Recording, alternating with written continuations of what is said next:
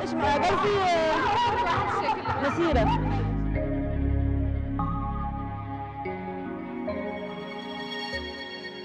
Why have men always tried to dominate women? It probably reflects fear. نحن بوجودنا هذا نقول لهم نعم سنكون موجودات سافرات عن وجوهنا سافرات عن عقولنا أيضا وسافرات عن خياراتنا.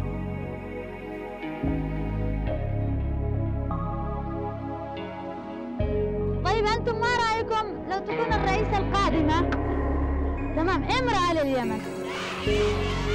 الملك بلقيس والملكة أروى أثبتين أن بالحكم جدارة قوية. فاقت كثير من الحكام الذي حكموا اليمن؟